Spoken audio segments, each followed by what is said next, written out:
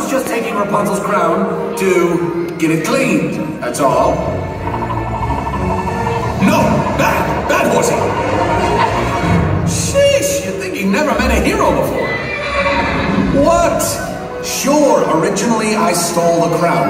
Yeah, Flynn, that was bad. But then I saved the girl from the tower. Well, did he though? Took the girl to see the floating lights. That part is true. Fell in love with the girl. I love that part. And helped said girl find out she was a princess. Hey, spoiler alert! Now, if that's not being a hero, I don't know what is. I think Flynn has a different memory of the story than we do, huh? Oh, I suppose you think Rapunzel was the hero? You better believe it. And yeah, I might have needed a little teensy bit of help. How about a lot of help? I think Flynn needs a reminder of why Rapunzel is the truly brave one in this story.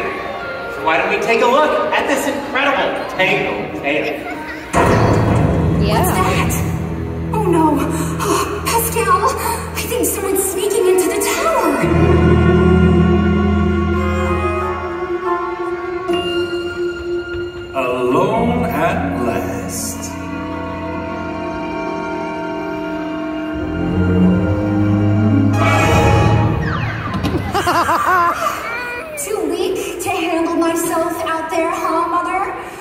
tell that to my frying pan.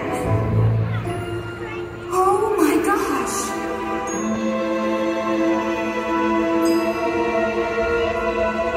Ooh, okay. Huh? What? Who are you? And how did you find me?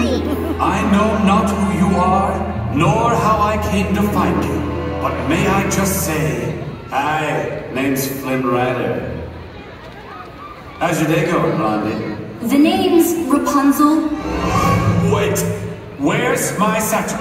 The satchel is safely hidden where you will never find it. Do you know about the floating lights? Oh, you mean the floating lantern thing they do for the lost princess on her birthday every year, hoping that she'll see them and come home? Oh,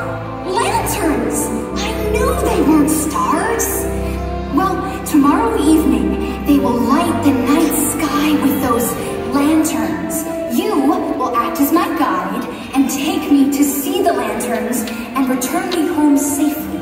Then will I return your satchel to you. Fine, I'll take you to see the lanterns. Okay, Blondie? Rapunzel, it's time to go.